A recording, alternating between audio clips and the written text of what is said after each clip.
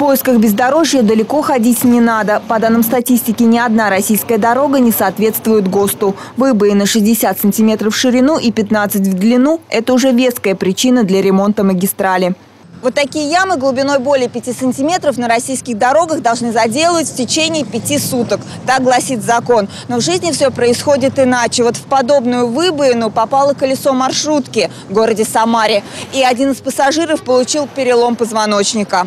Этот случай прогремел на всю страну. Журналист Андрей Федоров рассказывал о нем своим коллегам из соседних регионов. Сам он часто бывает в командировках в городах Поволжья и говорит, что хуже всего с трассами дело обстоит в родной Самаре. Самара очень большой город. Здесь более миллиона жителей, где-то миллион двести. Город, в котором я родился и живу, имеет на сегодняшний день самые плохие дороги, самую плохую инфраструктуру дорожную.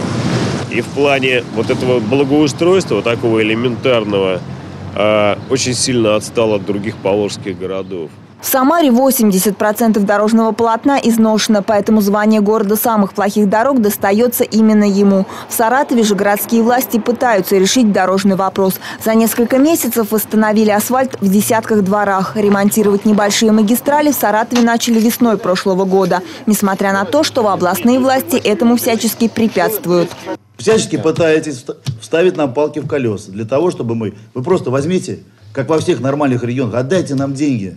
Наши деньги на дороги, на дворовой территории.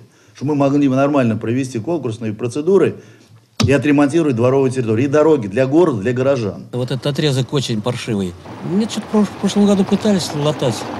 Областные власти не доверяют городу большие суммы на ремонт дорог, а сами не могут восстановить асфальт на веренной им территории. Настоящее бездорожье начинается за пределами Саратова. Большие участки областных трасс автомобилисты проезжают по обочине. Скорость минимальна, нервы на пределе. Аварии в области стали происходить все чаще. Больше половины всех ДТП именно из-за плохого дорожного полотна. Надежда Новикова, Алексей Чудин. Новости. Телеобъектив.